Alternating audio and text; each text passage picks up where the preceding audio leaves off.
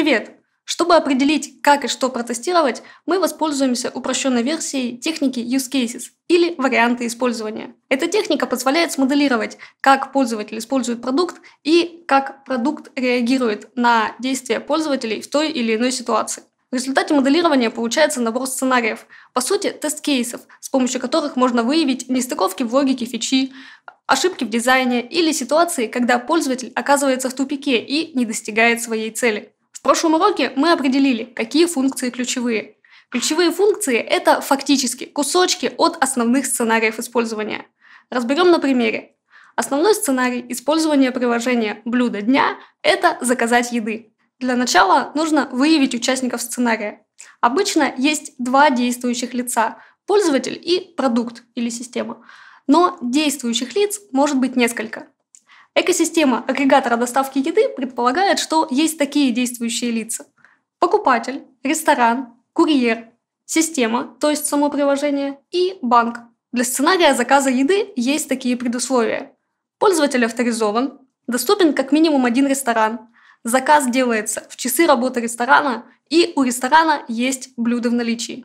Теперь рассмотрим, как может выглядеть основной сценарий использования целиком. От того, как покупатель начал накидывать товары в корзину и до того, как получил готовую еду в руки. Так как сценарий длинный, я разбила его на несколько слайдов. Покупатель выбирает ресторан. Система проверяет доступность ресторана. Покупатель добавляет блюдо в корзину. Система проверяет доступность блюд, показывает пользователю сумму заказа и прогноз доставки. Покупатель переходит в корзину. Система показывает текущее содержимое заказа. Покупатель инициирует оформление заказа, а система предлагает выбрать параметры. Покупатель эти параметры заполняет и отправляет форму. Система открывает страницу оплаты. Покупатель совершает оплату. Банк проверяет оплату и передает в систему данные, что заказ оплачен. Система показывает покупателю, что заказ принят и присылает чек. Далее, система запрашивает подтверждение заказа у ресторана. Ресторан подтверждает заказ и начинает его готовить. Система находит курьера и запрашивает у него подтверждение принятия заказа. Курьер подтверждает, что принял заказ и идет в ресторан. Ресторан подтверждает, что заказ готов. Курьер подтверждает, что принял его в доставку и транспортирует заказ. Покупатель получает заказ. Курьер подтверждает, что передал заказ покупателю. Система показывает, что заказ завершен. Так мы рассмотрели один основной сценарий от начала до конца. Его можно рассматривать как целиком, так и по частям, как вам удобнее. Дальше нужно составить альтернативное направление развития, то есть описать, как можно выполнить все то же самое, но немного другим путем. Можно посмотреть на сценарий целиком и подумать, как можно получить заказ другим способом. А можно смотреть на каждую строку и думать, может ли действующее лицо сделать другой выбор на этом шаге. Альтернатива 1. Выбрать ресторан не на карте, а из избранного. Или другая альтернатива. Покупатель оформляет заказ на другого получателя, а не на себя. Или курьер сначала принимает заказ, а потом отказывается, и заказ берет новый курьер. Каждую такую альтернативу можно пошагово расписать, как основной сценарий. А можно нарисовать блок-схему со всеми ветвлениями. Если на каком-то шаге возникло условие, которое мешает успешному завершению сценария, то это называется исключение. Исключения описывают, как поведет себя система в случае ошибки. Для тестировщиков это те самые негативные сценарии. Чтобы найти все возможные исключения, нужно пройтись по сценарию и подумать, что может пойти не так на каждом шаге сценария. Например, когда пользователь добавляет блюдо в корзину, а система проверяет, доступны ли они для заказа, могут произойти такие исключения. Добавляемое блюдо закончилось в ресторане и больше недоступно для заказа.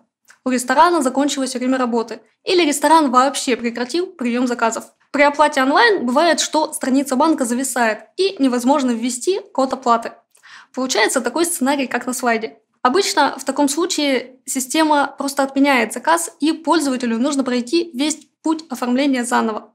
Так и назовем исключение. Страница подтверждения оплаты зависла. Анализируя исключения, можно предусмотреть большинство возможных ошибок, показать их разработчику и дизайнеру, спланировать, как показать в интерфейсе все эти ситуации так, чтобы пользователю было понятно, что произошло и что нужно сделать, чтобы все-таки достичь своей цели. На основе всех этих сценариев мы можем составить тест-кейсы. Тест-кейс предусматривает, что мы подаем какие-то данные на вход, делаем нужные действия и ожидаем какой-то результат на выходе. Например, при заказе еды в агрегаторе доставки на вход поступают вот такие параметры.